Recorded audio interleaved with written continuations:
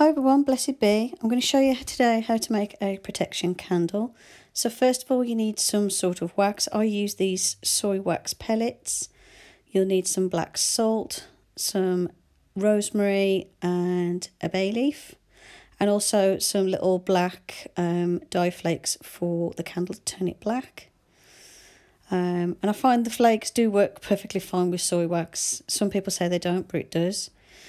Now I've got a pan of hot water and I'm just going to sit my little metal jug in there. Um, don't leave it on the heat or anything because you don't want to burn the wax. You just want the water hot and then just stick the jug in. It can be glass or metal depending on what you're using. Um, I've used a Pyrex jug before now to make larger candles. Make sure the container you're going to put it in has already had some hot water run through it so it's nice and warm so you don't shatter the glass. And this is an old candle um, anyway that I've just reused the jar from. So once my wax mixture has melted, I've put a little bit in the bottom just to make sure the wick base stays in place. These are wicks that have already got the little um, holder on the bottom. I just ordered these off um, online and they are um, soy, ones for soy wax. Because I use soy wax, I don't use paraffin wax in my candles. And as you can see with the with the flakes, it's made it a really nice dark black colour because obviously black colour correspondence for protection. And what I'm doing is I'm just giving it a little minute or two just to start to set. And this is just going to help to hold my wick base in place. Um, and I've also gone to just grab a bigger peg. I tend to use my pegs to hold the um, the wick in position because you want the wick to go centrally through the candle. You don't want it to be off to the side because it can shatter the glass container. So you want the wick to be thick enough for the size of container. You can Google how to work that out. Um, and you also want it so it's in the centre of the jar. Um, that way you're not going to shatter the glass container when your wick is burning. You want it in the middle. So now I've positioned my wick in place. I'm going to let that set for a little bit and I'm going to sprinkle a little bit of my black salt mixture in the bottom. It has got glitter in it because I felt it needed glitter. Don't know why, but this black salt has glitter in. And the black salt is made out of sea salt, um, a little bit of charcoal and um, incense ash and then I've also added uh, a little bit of my crushed bay leaves and I'm going to add a little bit of rosemary. I kind of like to do my um, candles in layers. Now it is going to, like as I put the next layer in, a lot of this is going to float up anyway.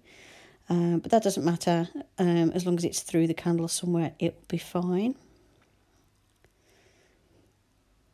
And then I'm going to add a little bit more of my melted wax. Obviously be very careful when you do this. This is obviously adults only, um, not for children because obviously the wax is very hot. So I've added a little bit more wax and I'm going to add a little bit more of my black salt mixture and I'm going to add a little bit more of rose the rosemary and bay, crushed bay leaf. If this floats to the top it doesn't matter. And just might try and make sure you keep that wick in the centre. So I'm just sprinkling my ingredients in. And while I'm doing that, I'm thinking about the purpose of this candle, which is for protection. You want to have in mind the intention of the candle the whole time you're making it. And also, I find it best to make this on a day where you feel nice and calm and relaxed and quite happy.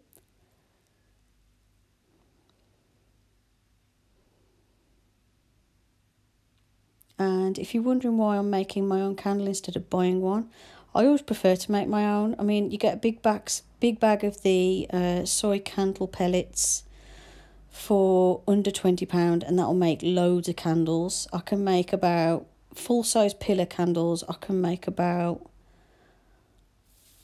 three or four out of it. But obviously, candles this size, I can make loads. I could probably make about 20 this size. at least and then still have loads left. I've used hardly any of the um, bag of soy pellets. So what I'm doing is I'm adding a little bit more of the wax each time. Um, I'm having to add little bits of wax to my little metal jug to melt it melt it a bit more to make sure I've got enough. Um, I probably could have done with filling my little metal jug, but I find it melts quicker um, if I do it in little batches. But I don't mind, I'm quite happy just to sit there doing little batches and just waiting patiently. The back of the um, black salt jars got this like Halloween label on because I bought the these little jars. It was around Halloween time from um, my local Hobbycraft. Um, you can find loads of little jars and things like this. You could keep the Halloween label on if you want, but this label wouldn't come off. Um, and I, I do put my own labels on, but it's fine because that's on the back. Um, but little jars like this are very useful. You can use them to make little protection jars and all sorts or just to store your ingredients in miniature size. Especially if, like me, you haven't got a lot of room, you can have um, a few of these in like a little. I've got like a little uh, frame thing, a box frame on the wall that keeps the little jars of the ingredients in. So you can have, you know, you don't need loads of stuff. Um, also, you don't have to buy stuff, as you can see. I mean, I'm recycling a glass jar from another candle. I'm The only thing I've bought is the wax. The rosemary and stuff I'd already got in the house. Um, you don't have to buy loads of things for your practice.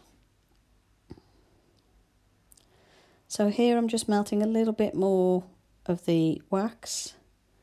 Excuse the weird lighting, by the way. The lighting in my kitchen is hopeless.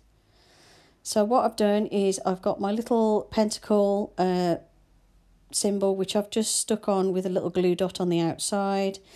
I've filled up my candle as far as I want. I don't like to fill it right to the brim. I like to leave a little gap at the top.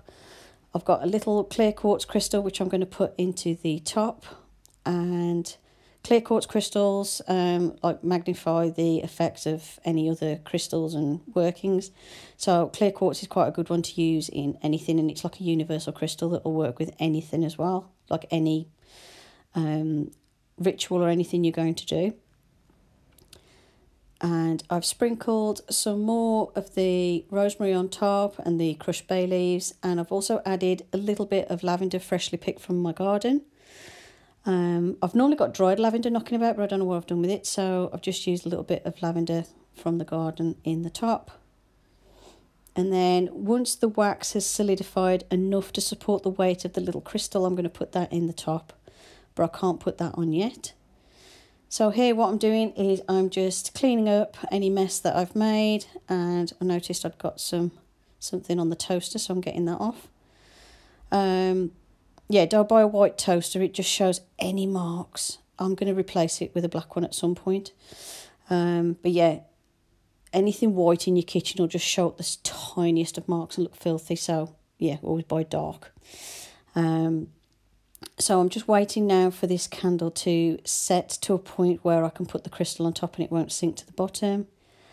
Um, so I'm going to let this carry on setting and cooling and then I'll come back and show you what to do next once it's all set, cooled and ready to, how to prepare it for use.